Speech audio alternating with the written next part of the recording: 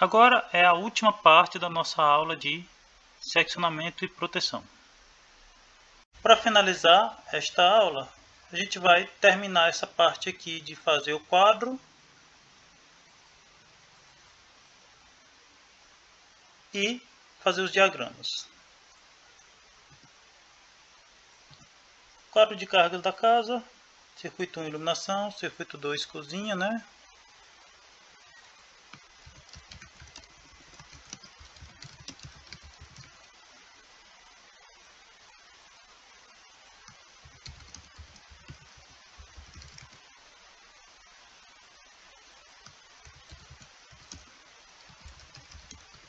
Plugs da switch.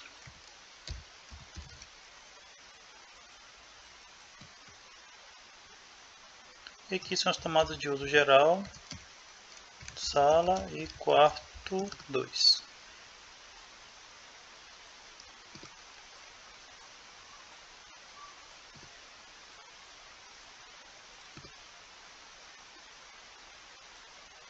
Exceto pelo circuito 1, todos os outros são fase neutro-terra.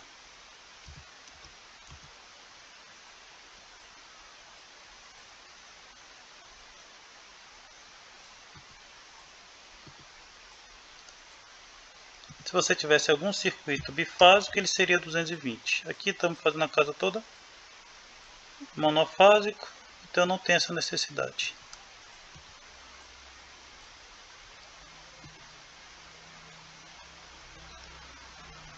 Agora nos cabe calcular a corrente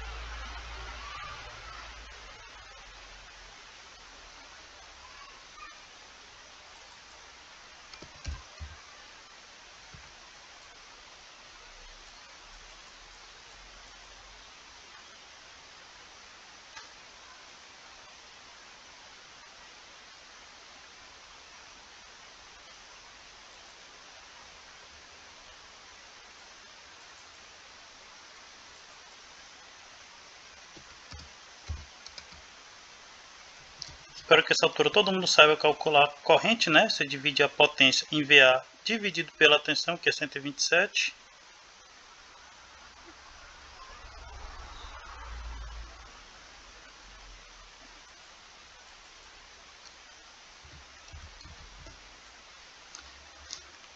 E aqui nós já vemos uma coisa, um detalhe aqui. Esse circuito aqui, ele tem 17 amperes. Se ele tem 17 amperes, ele não vai passar um disjuntor de 16. Ele vai pedir um disjuntor de 25. Que tem um detalhe, disjuntor de 25 ele precisa de um fio de 4 milímetros. Então vamos ter que refazer essa parte.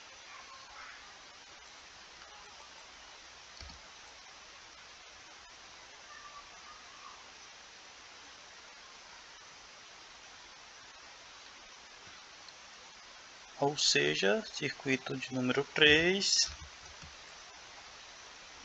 ele é 4 milímetros.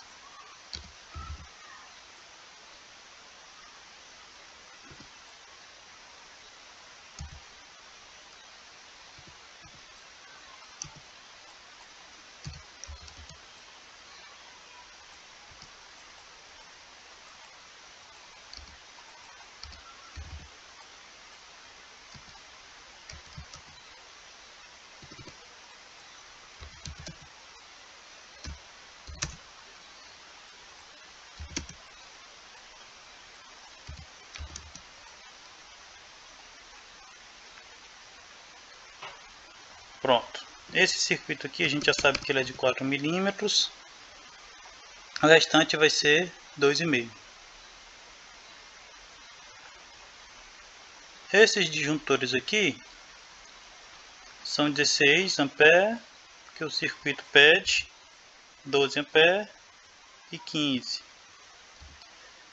Em trabalho de engenharia, a gente faria esse cálculo aqui. Não vai ser o caso hoje, nós não vamos calcular queda de tensão. Não tem essa necessidade.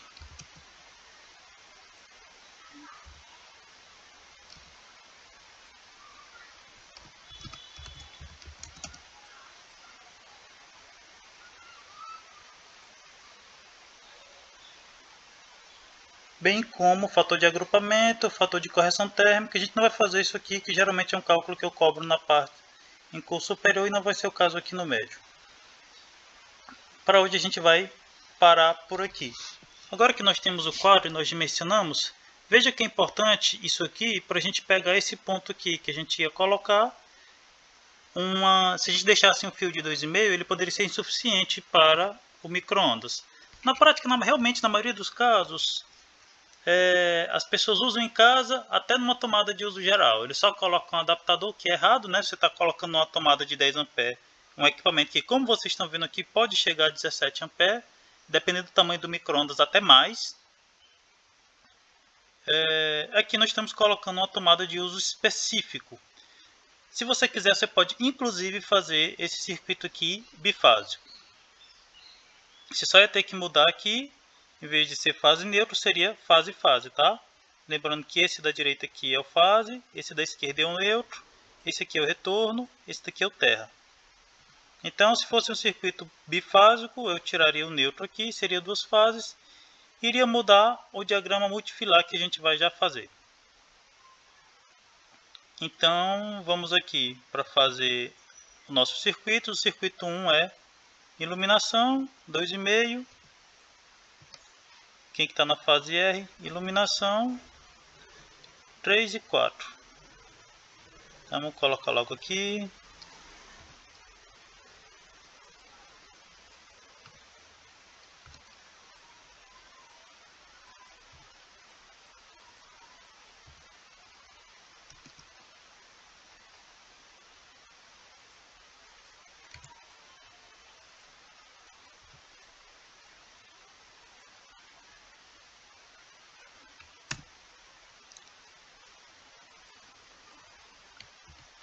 Colocar o nome do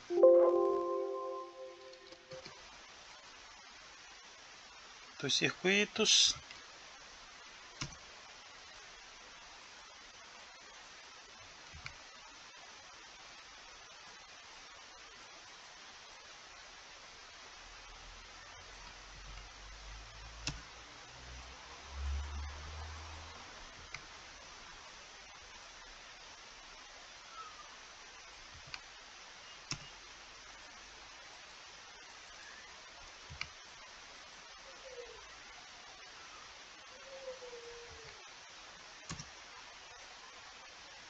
pegar as potências. 200 tomada da cozinha 1500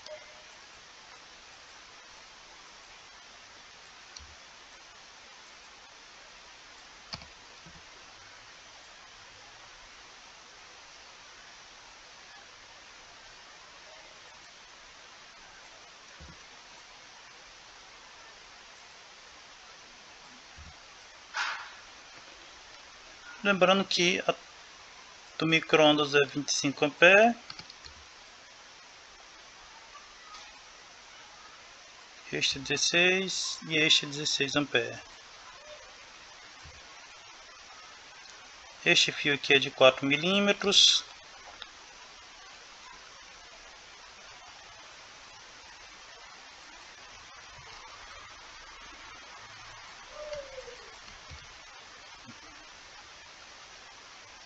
Aqui a nossa casa ela é bifásica, então o disjuntor vai ser bifásico. A potência total, que é de 6.558,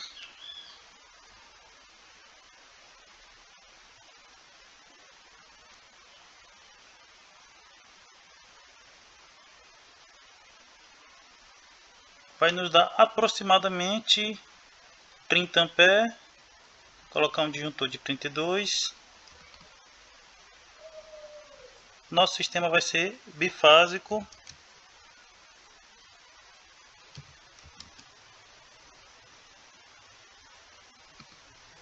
com fios de 6 milímetros.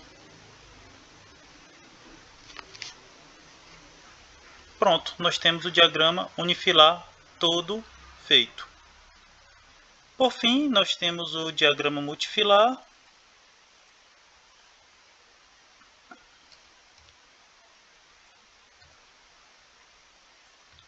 Todo com 6 milímetros, 32 Vamos fazê-lo ser bifásico aqui, acrescentando uma fase.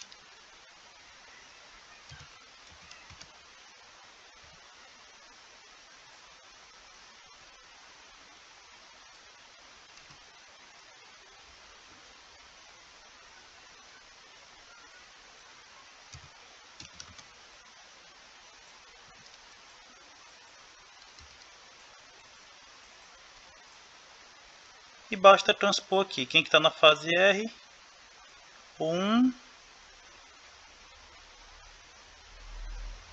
o 3 e o 4. Circuito 1,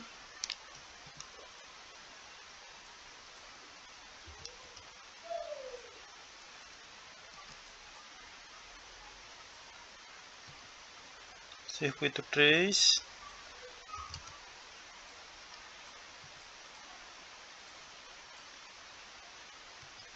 circuito 4.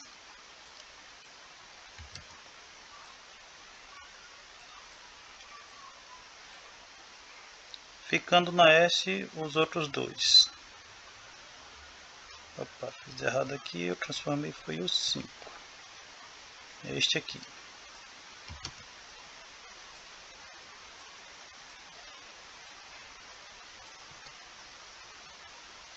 Lembrando que o 3 é 25.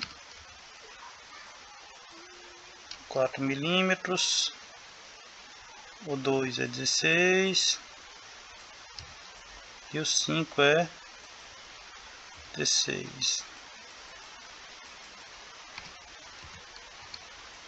Então, o nosso diagrama multifilar ele tem que mostrar em qual em qual é, fase cada circuito está ligado tem que mostrar quais circuitos estão ligados à proteção elétrica, vulgo fio terra,